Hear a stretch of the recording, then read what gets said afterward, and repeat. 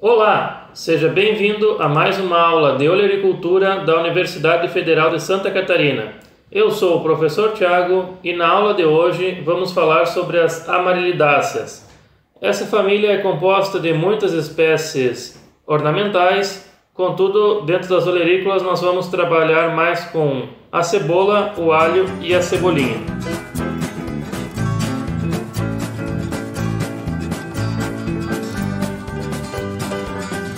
Botanicamente, as amarilidáceas elas são classificadas como o reino plantae, a divisão das magnoliofitas, a classe das liliopsidas, portanto, são as primeiras monocotiledôneas que são estudadas dentro da olericultura, ordem das asparagales e ainda a família da amarilidácea, ela pode ser dividida em três subfamílias. No caso das olerícolas, elas estão dentro das alioites. Como comentado anteriormente, as amarilidáceas possuem muitas espécies ornamentais. Então, devido à inflorescência dela ou às suas flores possuírem normalmente uma beleza apreciável. Então, diversas espécies. Na aula de hoje, nós vamos nos concentrar na cebola, no alho e na cebolinha, das quais não são consumidas flores, ou seja, a produção não é voltada para as flores, apesar delas também é, serem belas, porém é utilizado para consumo ou para fins comerciais o bulbo ou a folha, no caso da cebolinha. Quanto às características gerais então da família, nós temos uma distribuição cosmopolita. As plantas são herbáceas, perenes, bulbosas ou rizomatosas. É, rizomatosas é menos frequente dentro da família. A maioria das plantas elas são bulbosas. As flores são trímeras, dispostas em inflorescência do tipo umbela. As folhas são simples, apresentam nervuras paralelas, ou seja, são paralelinérvias, bordo inteiro, sésseis ou pecioladas, apresentam meristema basal persistente e desenvolvimento basípedo. Quanto à origem das espécies que nós vamos estudar, da, principalmente da cebola e do alho, ela se deu basicamente na Ásia, ali naquela região onde é o Paquistão, o, o Irã, então ali é o centro de, de diversidade da cebola e do alho. Já a cebolinha, ela foi originária ali na Euroásia, hum, principalmente na região norte da Eurásia. Então, pegando partes da Rússia, Polônia e, e até inclusive a Alemanha, onde é, é ainda hoje o centro de maior diversidade das espécies nativas, no caso da cebolinha. Já a cebola e o alho na Ásia. Então, quanto ao alho, é uma planta perene, aromática, apresenta um porte baixo de 50 a 70 centímetros, as raízes atingem até 50 centímetros de profundidade, as folhas são estreitas, alongadas e recobertas por cera, que isso é uma característica geral da família. O bulbo, que é a cabeça, ele é uma estrutura de reserva e é composto por folhas modificadas, né? Então, es, cada folha é um dente, cada dente daqueles dali, da cabeça do alho, é uma folha. Quanto à cebola, é uma planta perene, é, também forma o bulbo através da, das folhas modificadas, então é escamiformes.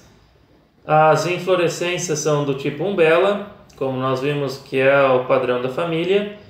Não é todas as espécies, mas no caso da cebola é. E as folhas são cerosas. Já a cebolinha, ela é uma planta perene, herbácea. A domesticação, como eu comentei, dentre as três espécies que nós vamos trabalhar, é a única que não se deu exclusivamente na Ásia, mas sim na Eurásia. Então, ela se distanciou um pouco de onde foi domesticado ah, o centro de origem né, da cebola e do alho, ela ficou ali mais na região norte da Eurásia. As folhas são tubulares, verdes escuras e apresentam aí até 10 centímetros de altura, naturalmente. Então, são plantas de porte mais baixo, que é a cebola e o alho. E o florescimento ocorre após o período invernal. Então, como a cebolinha é uma espécie mais simples eh, de ser cultivada, Vamos falar dela, depois nós comentamos sobre a cebola e o alho. Então a cebolinha ela pode ser propagada via sexuada, que é mais comumente utilizada em hortas domésticas, e para isso faz a divisão, né, as plantas com raízes, faz a repartição dos perfilhos e, e ali forma uma nova planta. Então, geralmente uma planta de cebolinha é na verdade uma toceira de vários perfilhos, Aqui, como na imagem demonstrando, aqui é somente um perfil da cebolinha que pode dar origem a uma nova planta, nesse caso aqui até florescendo. Claro que para o cultivo, é, para consumo humano, seja doméstico ou comercial, não é interessante deixar ele chegar aqui no ponto de florescimento. Então, vai sempre fazendo o corte das folhas e dessa forma ele nunca é, chega aqui nesse estágio de florescimento, mas o normal da planta seria o desenvolvimento até o florescimento e a produção das sementes. E aqui na produção das sementes já entra dentro da propagação sexuada, que ela é utilizada comercialmente. Apesar da cebolinha ela ser cultivada mais comumente de forma doméstica, uh, existe algum cultivo comercial dela. Então, eh, esses cultivos comerciais também podem utilizar a propagação via assexuada, porém é mais comum a produção de mudas via sexuada, ou seja, via sementes. Então, normalmente nas hortas domésticas, o que você tem é a propagação via sexuada, porque de uma muda faz várias, e assim por diante, pode ir dividindo as touceiras conforme elas vão crescendo. Já na, comercialmente é mais interessante já compra a semente e faz a instalação da horta. Quanto ao plantio, então, o espaçamento utilizado normalmente é de 20 centímetros entre linhas e 10 centímetros entre planta. O uso de sementes fica aí em torno de 5 a 6 kg por hectare. Como não são áreas muito grandes, então normalmente a, o consumo de semente é muito baixo. A germinação ocorre 10 a 14 dias após o plantio e o plantio pode ser realizado em todo o ano, porém preferencialmente em regiões com temperaturas amenas. Como comentei anteriormente, a cebolinha ela foi domesticada em uma região relativamente fria, então aquela parte Rússia, Polônia, Alemanha, então ela é adaptada a climas mais amenos, então em torno aí de 15 a 25 graus Celsius, não mais que isso. Quanto aos manejos culturais, então, é muito pouco utilizado o manejo cultural na cultura das cebolinhas, principalmente se for pensar que as áreas são pequenas, então ela tem baixa necessidade de intervenção de manejo cultural. O principal manejo cultural será o controle das plantas daninhas, porque isso é uma característica geral da família. Elas não fecham muito a área, por exemplo, as cucurbitáceas, elas se expandem e ocupam o terreno. Já as amarelidáceas, três espécies que nós vamos estudar aqui das amarelidáceas, elas têm um crescimento vertical, porém elas não ocupam horizontalmente a área. Então, o manejo de plantas daninhas ele deve ser é, corriqueiro ao longo do ciclo. Também pode ocorrer aí ataque de insetos e doenças, são raros porque é, essa distringência das folhas ela já evita aí a presença de insetos, porém ainda existem alguns que, por mais que tenha essa pungência, eles conseguem é, atacar a cultura. E aí deve-se dar preferência ao manejo integrado, né? evitar o uso de agrotóxico, principalmente porque o que você consome são as folhas e no caso de usar agrotóxicos é necessário esperar aí respeitar a carência e muitas vezes acaba passando o período que pode ser colhido comercialmente as folhas. Daí, no caso, para evitar entrar em florescimento, teria que uh, fazer o corte, fazer a colheita das folhas e descartá-los. Esse é o manejo correto. E também não existe tantos princípios ativos assim registrados para a cultura. Como eu comentei, ela é uma cultura muito pouco utilizada comercialmente. Então as empresas não têm tanto interesse assim de registrar um agrotóxico para a cultura da cebolinha. E também pode ser utilizada a adubação, ela é preferencialmente utilizada de forma orgânica, porque vai liberando o adubo a, ao longo do ciclo, então não libera tudo de uma vez só. Como a absorção dela de nutrientes não é tão grande, ela não é uma planta muito vigorosa, então é a forma mais adequada de ser realizada a adubação. E, só que deve ser evitado a fonte de nitrogênio em excesso, porque como ela não é uma planta muito vigorosa, então o uso de adubos muito fortes nitrogenados podem causar um desbalanço na planta e principalmente facilitando a entrada de patógenos, que ela ela já possui uma resistência natural, então é bom manter esse nível de resistência. Quanto à colheita e comercialização, então o ponto de colheita ele vai variar de acordo com o clima de cada região de plantio. Fica aí entre 90 e 110 dias do plantio até a primeira colheita. Durante a colheita que você faz é o corte das folhas na sua base, sem danificar o talo principal ali ou a raiz. Então faça a colheita aí a um ou dois dedos acima do nível do solo a adubação de cobertura é aplicada após a, a colheita, então essa é a fase que a planta ela vai regenerar, né, vai crescer novamente, então ela vai demandar mais adubação. Então, normalmente o que você faz é a colheita e aí após a colheita faz a aplicação da adubação de cobertura. Aí vai ter o rebrote da parte aérea em aproximadamente 30 dias. Isso também vai variar muito de cada clima, cada região, e a comercialização normalmente realizada em maços junto com outras hortaliças, então junto com a salsinha, por exemplo, ou outras hortaliças. E também pode ser realizado o processamento aí através do uso condimentar, então é, para temperos, condimentos, etc. Agora quanto à cultura da cebola. A cebola é uma planta tenra atinge aí até 60 centímetros de altura.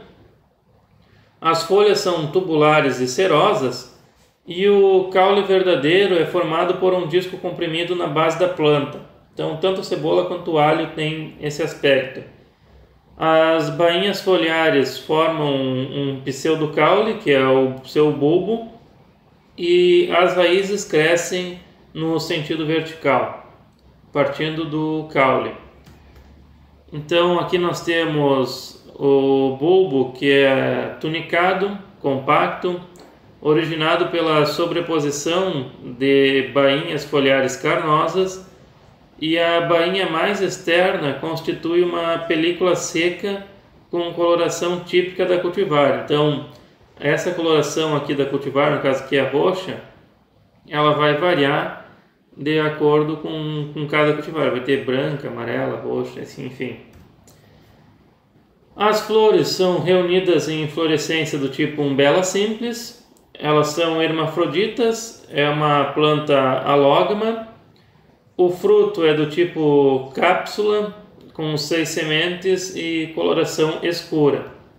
No mundo, são produzidos em torno de 84,7 toneladas de cebola anualmente ela é a terceira hortaliça mais cultivada no mundo e é a primeira cultivada em Ituporanga, em Santa Catarina.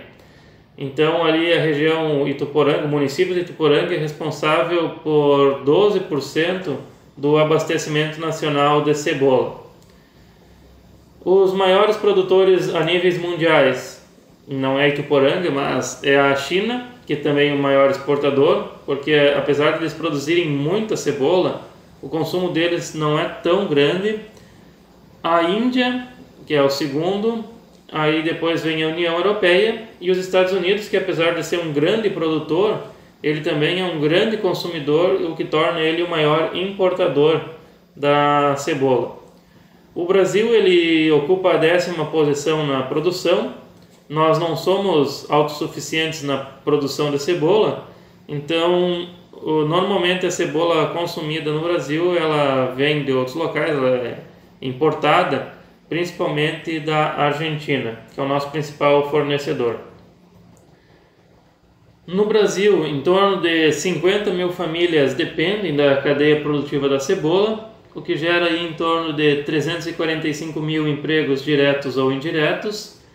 E quanto ao mercado consumidor, então eu já havia comentado, os Estados Unidos é o principal consumidor, aí com consumo de 12 kg por habitante ano. O segundo maior mercado consumidor é a Argentina, que consome em torno de 8,3 kg por habitante anualmente. O Brasil é o terceiro maior mercado consumidor, com 6,5 eh, kg eh, de cebola por habitante ano.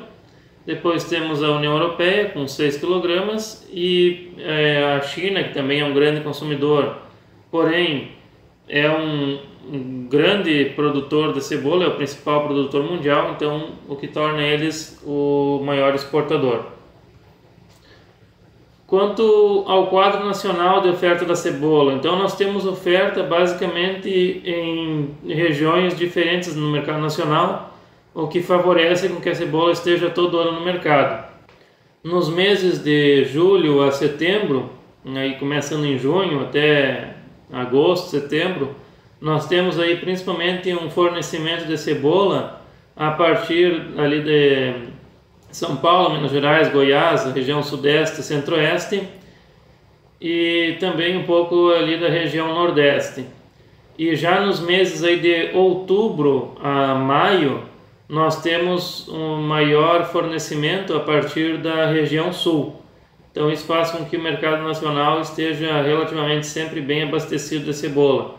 Com exceção aí de setembro, no, uh, novembro mais ou menos, que é quando tem uma janela aqui onde é, o fornecimento de cebola é um pouco menor, mas como ela é facilmente conservada, então não tem tanto problema quanto ao abastecimento do mercado nacional. Quanto à termoperiodicidade do cultivo, então o plantio da cebola ela é de clima frio, exige baixas temperaturas para a passagem da etapa vegetativa para a etapa reprodutiva o florescimento é induzido após o período de vernalização. É uma planta que pode ser dividida em três eh, comprimentos de ciclo. No ciclo precoce, a colheita ocorre 130 dias após a semeadura, em torno de 130 a 160 dias. No ciclo intermediário, aí já vai levar de 161 a 200 dias. E o ciclo longo quando a planta leva mais de 200 dias da plantio até a colheita. É uma planta que também tem interação com fotoperíodo, então nós podemos classificar o ciclo também quanto ao requerimento de luz para bulbificar em número de horas, né?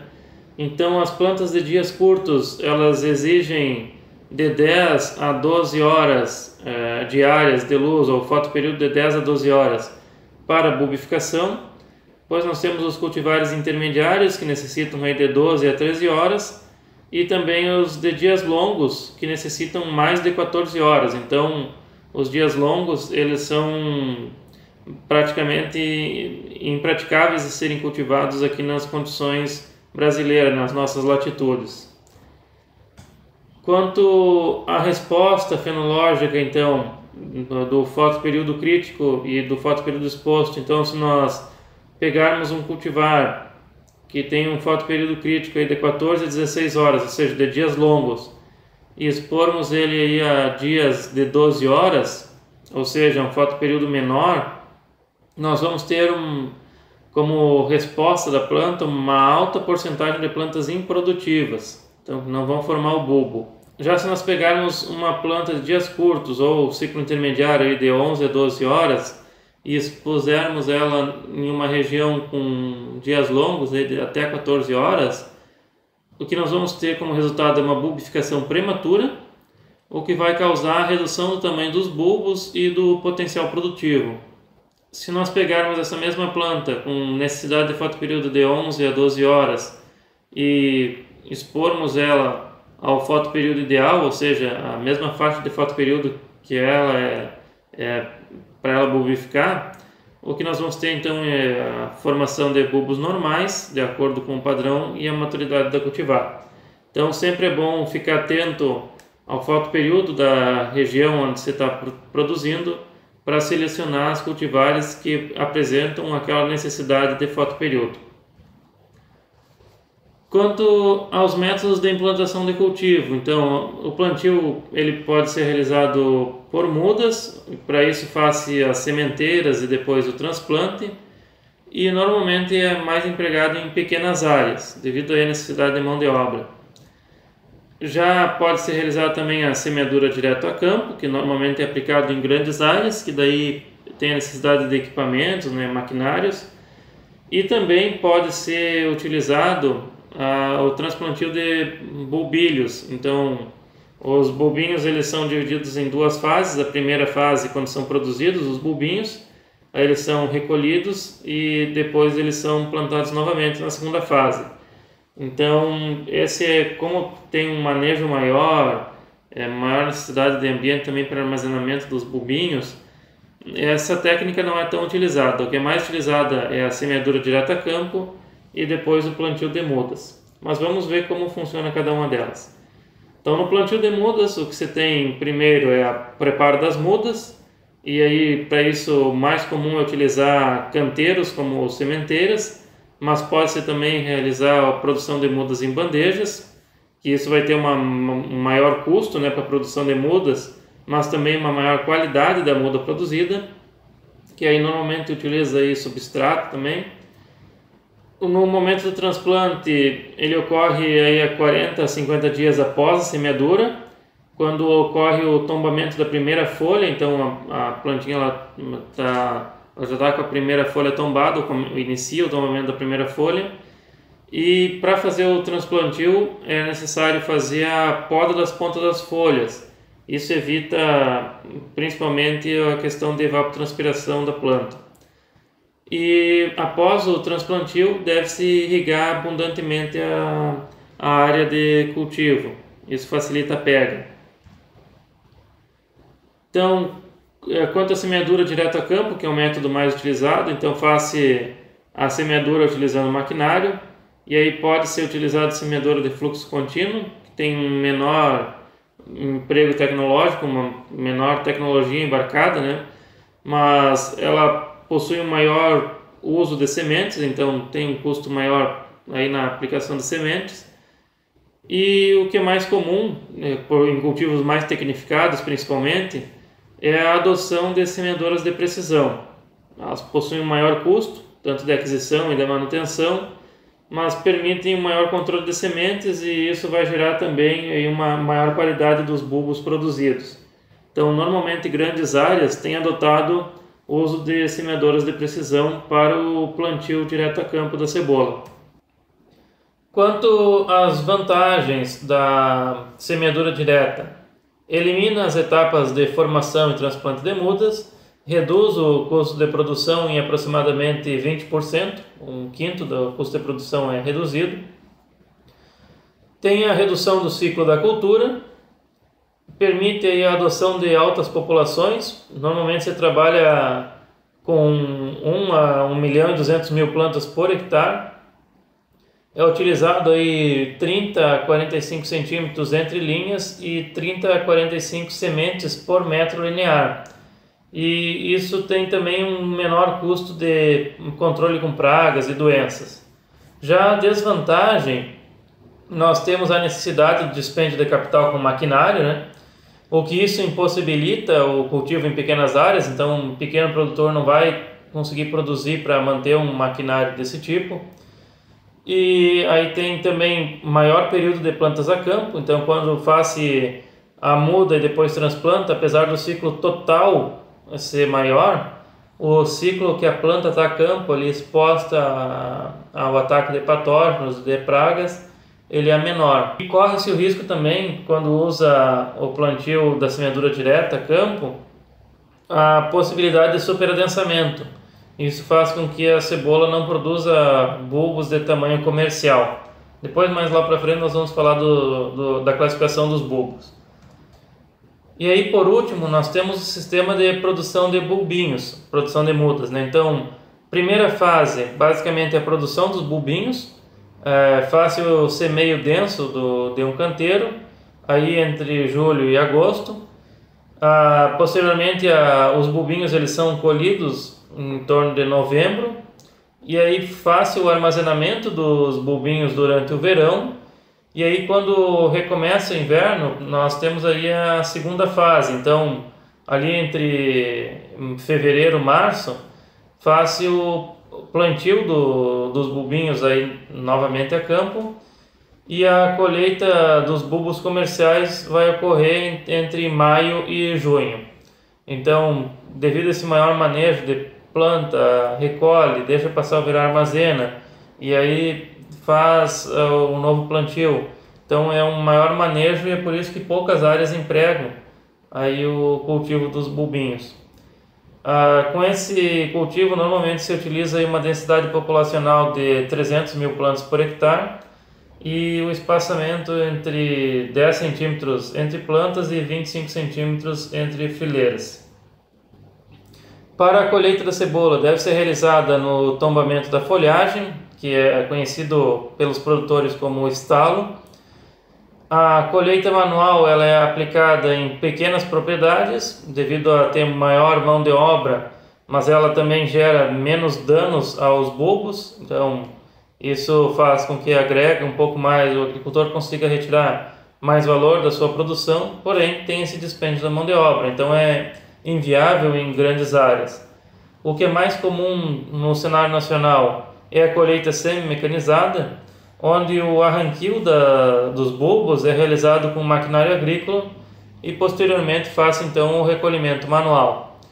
E ainda alguns cultivos mais tecnificados empregam o uso de maquinário tanto para o arranquio dos bulbos quanto para a coleta dos mesmos. Após a colheita, é importante que seja feita a cura dos bulbos, então ela deve ser realizada imediatamente após a colheita, seja a campo ou em galpão.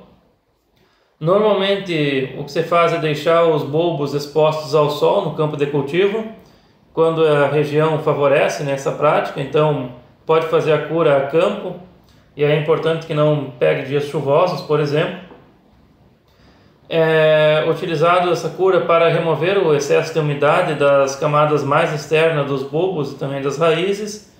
Com isso, ocorre a formação de uma barreira física pela camada de catafilos secos em torno do bulbo.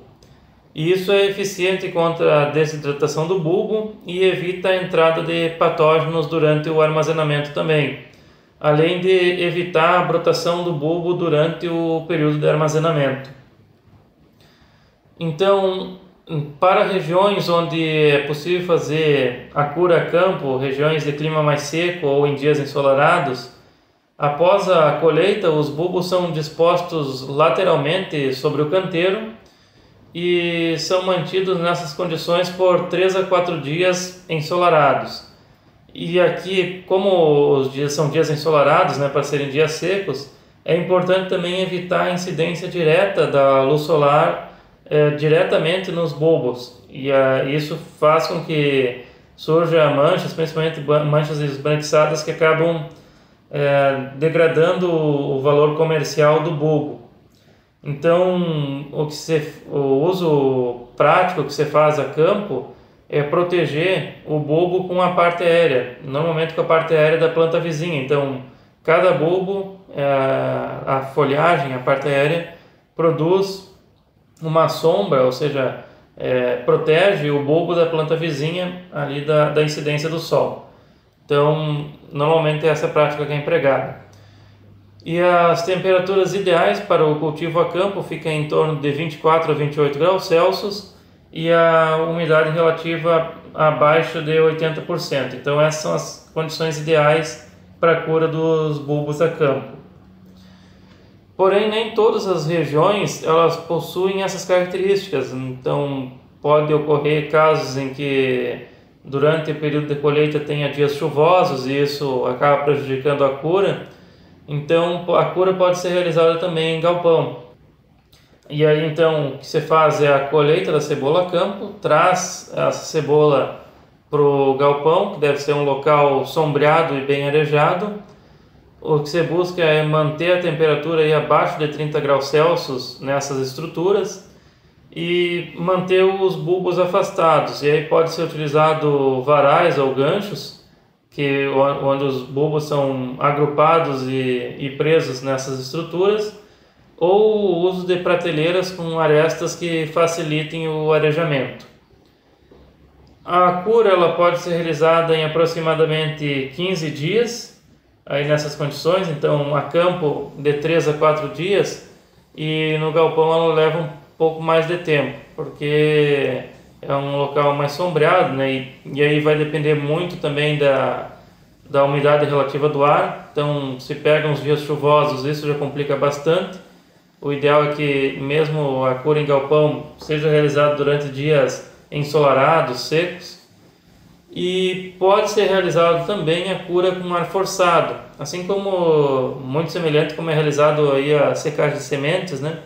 Pode ser também aplicado fluxo de ar é, passando pelo fogo, então isso faz com que o ar seja aquecido, a umidade relativa seja diminuída, então é, passa um ar quente e seco e, e aí pode ser realizado a, a cura dos bulbos aí isso leva em torno de sete dias conforme a tecnologia que é empregada também. É importante que o ar ele não seja tão quente então aí que ele não passe dos 30 graus para a secagem dos bulbos senão começa a ter danos ali de desidratação no bulbo.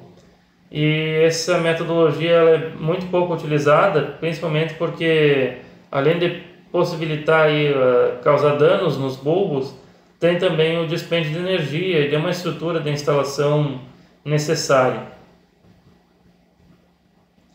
Aqui, quanto à classificação pelo formato, nós temos aí o, o globo achatado, o globo, o globo alongado, o periforme, sweet Spanish, o achatado, achatado alongado, granix, peão, então é, tem tipos de cebola aí para vários gostos. Então essas são as principais classificações da cebola. Nós podemos classificar ela também quanto à coloração, quanto à sua cor. Então, que basicamente a cebola pode ser branca, amarela, vermelha, pinhão ou baía ou roxa. Quanto ao tamanho, nós podemos classificar em sete classes. Então a classe 0 é quando ela é menor de 15 milímetros, classe 1 é quando ela fica entre 15 e 35 milímetros e assim por diante. O que é mais cultivado comercialmente, o que é mais é, utilizado no mercado nacional comercialmente são essas classes aqui. A classe 3 e a classe 3 cheio. Então, aí um calibre que varia de 50 a 70 milímetros. As classes 4 e 5, apesar de elas serem as maiores classes né, dentro das cebolas, elas normalmente são utilizadas mais para algum mercado gourmet, alguma coisa assim para decoração de pratos.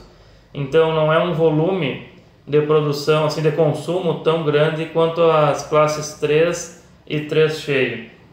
Nós podemos classificar também a cebola quanto a pungência, então ela pode variar aí do muito pungente, que possui mais de 6,6 na faixa DAP, que a faixa DAP é o desenvolvimento do ácido pirúvico, que é o ácido pirúvico que dá pungência, né? aquilo que dá aquele uh, sabor característico da cebola e também faz chorar.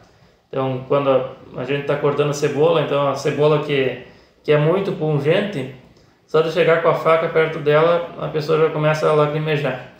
Então, depois nós temos a pungente, levemente pungente, suave, muito suave e extremamente suave. Então, isso é uma característica mais genética da cultivar. Durante o manejo de cultivo, é claro que isso vai ser favorecido ou não, mas isso já é uma característica, uma predisposição genética. Então, quanto a o beneficiamento e comercialização. Que nós temos é a padronização dos lotes. Então, as cebolas devem ser agrupadas em lotes uniformes quanto ao formato, coloração, tamanho, pungência, então conforme tudo aquilo que nós classificamos. A venda pode ser realizada em atacado, que é o mais comum do produtor ele vender para um atacado ou muitas vezes ainda vender para um intermediário que vai vender para o atacado. Para isso, a comercialização é realizada em sacos de 20 kg e pode ser realizada também a venda no varejo, daí é utilizado a venda a granel. Pode ser também utilizado aí a venda em bandejas com 4 a 6 bulbos uniformes, isso normalmente é para um mercado consumidor mais requintado, digamos assim, porque isso eleva um pouco o valor agregado da cebola. Então, às vezes vem uma bandeja de isopor ali com, com 4 a 6 bulbos. E deve-se evitar transportar a cebola junto com outros vegetais. Isso devido ao odor característico, né? Então, o problema não é para a cebola, mas os outros vegetais eles podem adquirir esse odor característico da cebola e acaba degradando, digamos assim, a qualidade do, dos outros produtos. Agora, quanto ao cultivo do alho. O, o, alho aqui é uma planta que também, assim como a cebola, é formado por folhas modificadas. Aqui os dentes são as folhas modificadas. Aqui esse aqui é o caule verdadeiro, né? então ele é achatado aqui embaixo, assim como da cebola, de onde partem as raízes. O alho, assim como a cebola, também ele é adaptado a regiões frias. O período de dormência é em torno de dois meses, adaptado a temperaturas baixas, que favorece o aumento da concentração de fitoquímicos. É, ele é rico em compostos organosulfurados, então isso é o que dá ao alho aí as propriedades medicinais. Ele foi cultivado durante muito tempo, principalmente por essas propriedades medicinais como por exemplo ele é um indutor do fator de agregação plaquetária, o PAF, e também um redutor do colesterol, além de outras propriedades medicinais que ele foi utilizado aí ao longo do tempo. É, o alho também ele é rico em alicina e garlicina, que possuem atividades antimicrobianas. Quanto ao clima de produção, então, aí geralmente na faixa de 13 a 24 graus Celsius são ideais para o cultivo. A formação do bulbo ocorre em temperaturas invernais preferencialmente abaixo dos 15 graus Celsius. As temperaturas acima de 30 graus Celsius, elas geram um estresse muito forte na planta e inclusive impedem a formação do bulbo comercialmente aceito. Então a planta pode até bulbificar, por uma questão genética dela, mas é, esse bulbo ele não vai ter valor comercial, é um bulbo muito é, muito débil, muito muito fraco. Quanto à exigência em frio, então, o alho ele possui uma baixa exigência em frio no início do ciclo. Durante aí o metade para o final do ciclo ele vai aumentando essa exigência e no final do ciclo ele tem a necessidade de dias longos. Então, quanto ao ciclo, nós podemos classificar o alho em três tipos de ciclo: curto, médio e longo. O ciclo curto apresenta pequena exigência de frio e de dias longos. O ciclo médio, mediana exigência de frio e dias longos. E o ciclo longo possui grande exigência de frio e de dias longos.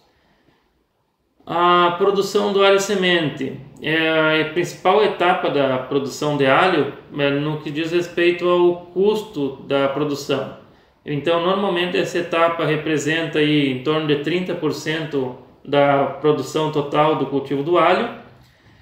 É importante selecionar materiais com elevada qualidade, e aí aqui a qualidade é qualidade genética, ou seja, uma cultivar adequada para o cultivo, com uma genética superior, uma genética interessante, né? Qualidade fisiológica, ou seja, plantas, é, o alho semente fisiologicamente adaptado, é, fisiologicamente bem formado, e também qualidade sanitária, principalmente para evitar a entrada de pragas, patógenos e aqui principalmente os vírus, que são um grande problema do cultivo de alho, um grande entrave. Os bulbilhos com menos de 1 grama, eles devem ser descartados então eles são muito pequenos, então aí entra dentro da questão de qualidade fisiológica, né? eles não têm reserva para a formação de uma planta que vai ter uma produção eficiente. E também tem que se tomar cuidado porque o, o bubilho, ou seja, o alho semente, ele é o principal vetor de pragas e doenças na cultura do alho. Então, é importante frisar aqui novamente selecionar materiais de qualidade. Normalmente, como se é realizado o esquema de produção de, de alho semente ou como deveria ser realizado? Então, a, produção do alho semente em um telado, aqui numa área isolada, preferencialmente, aqui da, das áreas de produção, e aqui a manutenção, na verdade, né, do alho semente é, de forma sadia, ou seja, evitando a entrada de insetos o máximo possível, a entrada até mesmo do, do ser humano, somente entrar é, quando for necessário, somente quem for responsável aqui fazer um manejo na área. Então, dessa forma, manter o, o alho semente material propagativo livre de pragas, patógenos, principalmente insetos que podem ser vetores de vírus. E aí aqui tira material propagativo para a produção do campo de semente. Então aqui no campo de semente é claro importante ter também evitar o máximo possível a presença de pragas e que podem causar a entrada de, de vírus e também de patógenos em um campo que preferencialmente é isolado também da lavoura comercial. E aí aqui do, desse campo de alho semente tira-se os bulbilhos que é levado para o cultivo comercial. Então essa é a forma ideal de ser realizada. Aqui então, por exemplo, um telado, né? demonstrando aqui um telado para a manutenção de, do cultivo do alho semente, evitando aí a entrada de, de pragas que podem estar trazendo principalmente vírus. Aqui a peneira de classificação, então a, o alho semente ele é classificado é, pelo tamanho, né? como eu comentei, bobilhos abaixo de 1 gramas devem ser descartados do cultivo. Então aqui pode ser utilizado aí um jogo de peneiras para classificar mecanicamente aí o bobilho quanto ao tamanho. Temos aí a influência da classificação dos bobilhos na característica da produção. Então o que nós podemos observar é que aqui se formos utilizando uma peneira que passe o alho muito pequeno, nós vamos ter um stand de plantas que, por mais que ele seja até alto, não vamos ter uma produtividade tão grande lá no final. Então, dar preferência para bulbilhos bem formados é importante.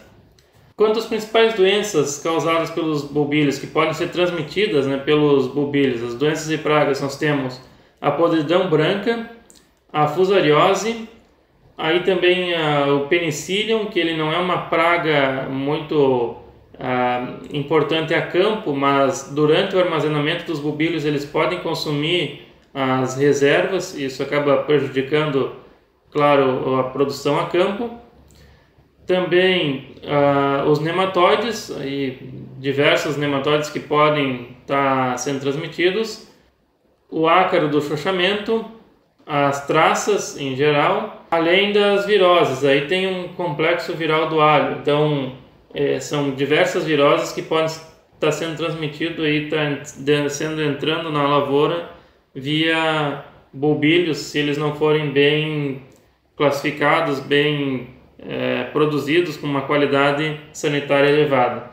Após a produção dos bulbilhos, é importante que eles passem por um período de dormência. Essa dormência ela pode ser realizada naturalmente em regiões é, de clima frio ou realizada em câmara fria.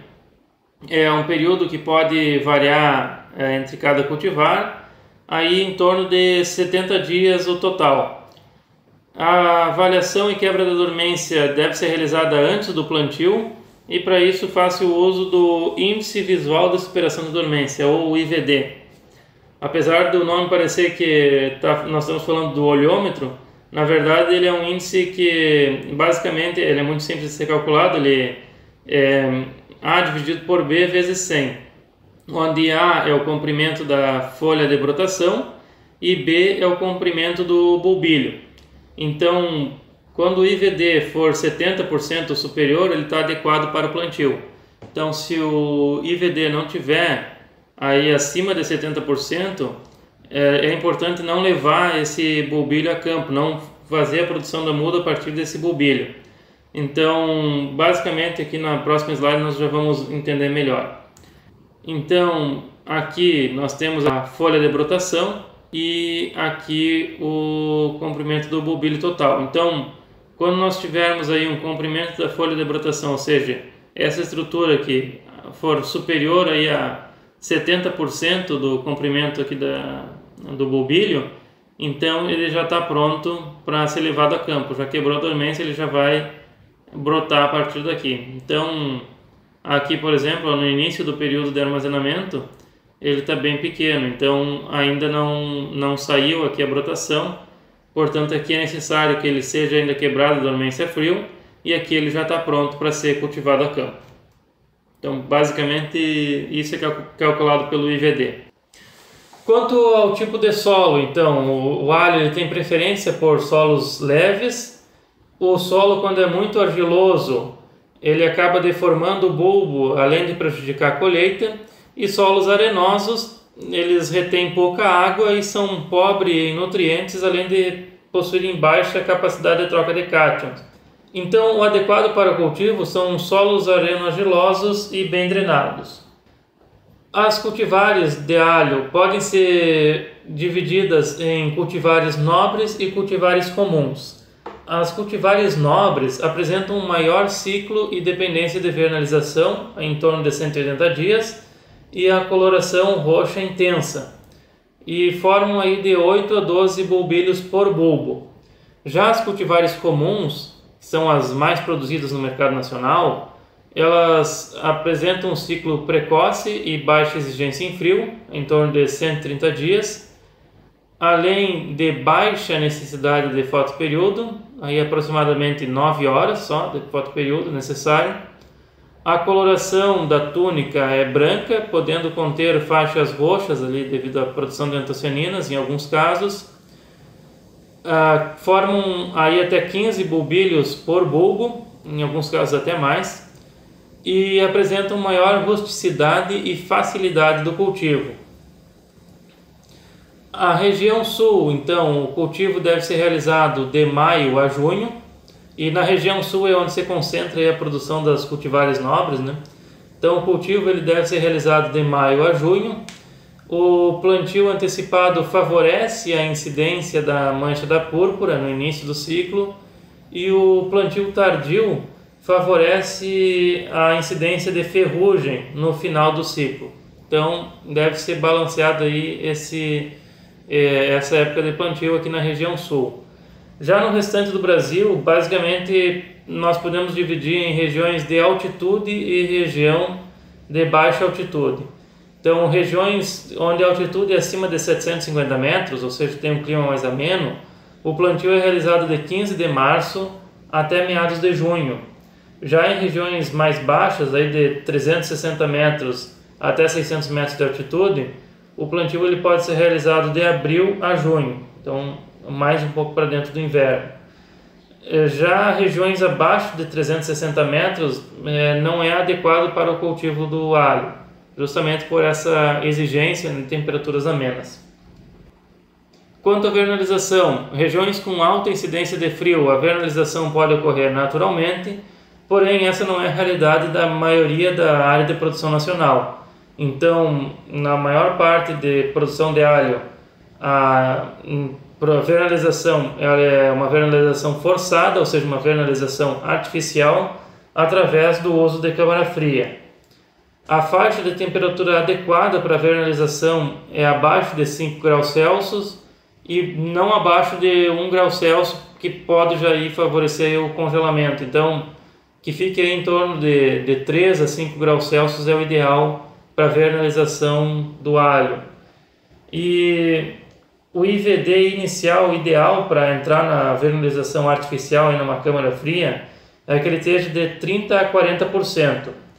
No caso, se o bulbilho ele não tiver ainda em 30 a 40% do IVD, ele pode passar por uma pré-vernalização, que seria isso, uma câmara fria e uma temperatura de 7 a 10 graus Celsius. Então isso favorece aí o aumento do IVD para já é, possível a partir de então aí tem que ir monitorando, mas normalmente isso vai levar 10 a 14 dias dependendo do, do cultivar também do IVD inicial, que daí pode ser realizado a, a vernalização abaixo de 5 graus Celsius para atingir aí até os 70% do cultivo, né?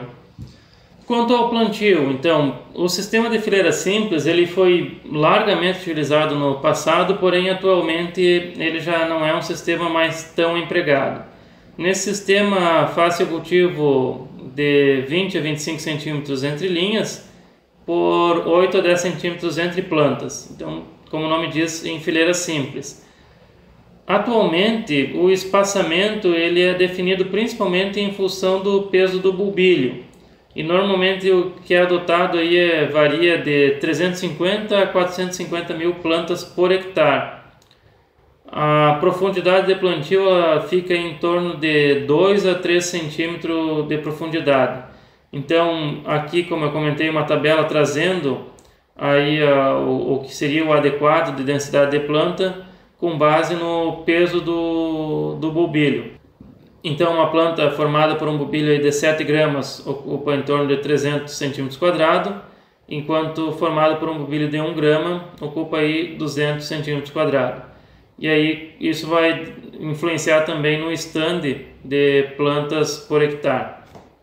Então, variando aí de em torno de 350, 335 mil até 500 mil plantas por hectare. Aqui então demonstrando o plantio de alho, que ele pode ser realizado aqui em, sulcos, né? então os dentes podem ser colocados aqui nos sulcos e pode ser realizado também em pequenas covas, então aqui as, as covas e onde é adicionado aqui o bulbilho. Ah, quanto à disposição do bulbilho, não tem importância se ele ficar deitado para cima, que não, não vai influenciar na formação da planta. Aqui então as etapas do plantio, então a preparação dos canteiros, né? no sistema mais atual se faz em canteiros, e aqui então o plantio manual. Então essa é a forma de cultivo mais empregada a nível nacional ainda, é esse plantio manual. Quanto à irrigação da cultura, então é uma cultura bastante sensível à falta de água, mas ela também é muito sensível ao excesso, então solos mal drenados são um grande problema. Então, enquanto a falta de água reduz a produção, o excesso de água ou solos mal drenados né, favorecem o apodrecimento e o aparecimento de doenças, tem-se a redução da produção, além de estimular o pseudoperfilhamento, que é o que os produtores chamam a campo de sorriso, então é quando a cabeça ela fica aberta, um bulbo com pseudo-perfilhamento ele não tem é, valor comercial nenhum, e também o excesso d'água ele reduz a conservação dos bulbos. Então a irrigação ah, é principalmente via aspersão, então seja aí cultivos mais tecnificados aqui utilizando pivô central, ou utilizando aqui o chafariz no meio do cultivo. Então, seja qualquer das formas, a irrigação no cultivo do alho é principalmente via aspersão. A cultura ela apresenta uma exigência de lâmina de água em torno de 400 a 850 milímetros. O estágio inicial, as irrigações eles, elas devem ser mais frequentes e mais leves, isso aí de 15 a 30 dias ali após o plantio. O período de maior sensibilidade ao estresse hídrico é o crescimento vegetativo e enchimento dos bulbos. O período de maturação, as irrigações devem ser reduzidas e elas devem ser cessadas no período final para favorecer aí a, a cura do alho também. Então, é, 15 a 20 dias antes da colheita é o ideal que não, já não seja mais irrigado. Então aqui a operação de colheita, é, a colheita é realizada quando aproximadamente dois terços das folhas das plantas já estiverem amareladas ou em senescência, né? O bulbo eles devem estar fisiologicamente maduro e a colheita, assim como no caso da cebola, aqui no, no alho é a mesma coisa, o mais comum é a colheita semi-mecanizada. Então, aqui, como já comentado lá na cebola, no alho, a processamento de cura, processo de cura, vale a, a mesma coisa. Então, aqui a, cura pode ser realizada a campo ou em galpões aqui, é, em estrados, aqui em ganchos então aqui ou em réstias, né, onde em réstias um, um alho amarrado no outro e forma-se aqui um cordão de alho. Então aqui para cura a, na sombra ou a cura ela pode ser realizada a campo. Aqui os mesmos é, comentários lá da cebola.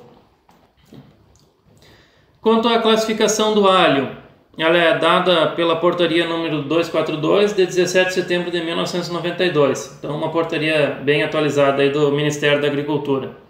Ainda quando o nome do ministério era Ministério de Estado da Agricultura e Reforma Agrária.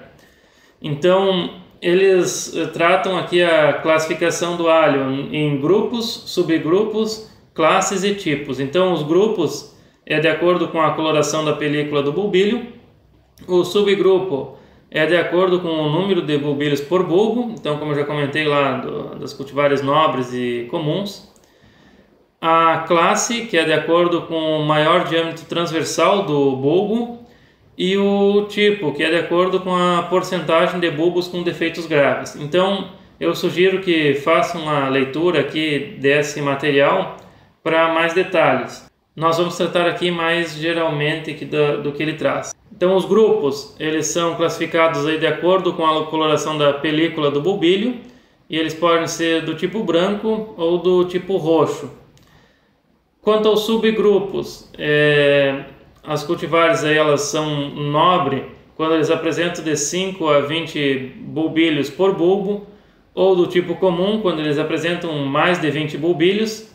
Então, Aqui normalmente o, o tipo nobre ele vai apresentar até 12 bulbilhos e, e aqui a classificação que eles utilizam é de até 20 de, ou mais de 20 bulbilhos para o tipo comum. Apesar de algumas cultivares aí de, do tipo comum apresentarem uh, uh, um pouco menos de 20, as cultivares atuais aí em torno de 15 uh, bulbilhos, né, que são os dentes pra, por cada bulbo. Mas a classificação oficial ainda é essa. Quanto às classes, então pode ser classificada na classe 3, 4, 5, 6 e 7, de acordo aí com o tamanho do, do diâmetro transversal. Quanto maior a classe, maior o tamanho.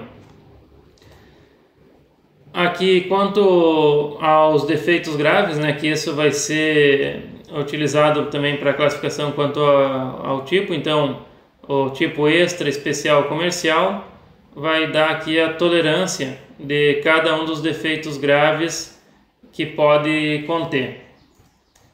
Então essa é uma classificação nacional, né? Então internacionalmente no comércio internacional aí você faz a classificação basicamente principalmente pelo tamanho. Então aqui nós temos no Brasil como é, então pelo que nós acabamos de ver, o Mercosul tem uma classificação um pouco diferenciada. Então se for pensar no mercado internacional aqui dentro do Mercosul funciona dessa forma. E a China, né, o mercado chinês, que é um, também é um grande produtor e consumidor, e, e no, onde o Brasil tem bastante comércio, então é, muito do alho é importado da China. Então aqui eles têm outra classificação ainda diferente. Então essa classificação ela vai depender pra, de qual mercado nós estamos falando. Quanto às embalagens e comercialização, o alho ele é comercializado no atacado em embalagens de 10 kg de bulbos padronizados. E aí, para isso pode ser utilizado aí as réstias, né? Então, réstias aqui a estrutura aquela da, do, da amarração dos alhos, é, sacos de nylon principalmente, ou alguns casos mais tecnificados, as caixas de papelão que facilita bastante o manejo. Mas é padronizado que o alho ele é vendido aqui no, no atacado em, embalagens de 10 quilos. E aí, é claro, para o varejo ele pode ser vendido por cabeça normalmente, ou por, por unidade, então, ou por peso, então a granel. Então isso vai depender um pouco também uma característica regional, cada região vai ter uma forma de comercialização. Bom, então essa foi a nossa aula sobre amarilidácea. Dúvidas podem ser postadas nos comentários. Obrigado por ter assistido até aqui.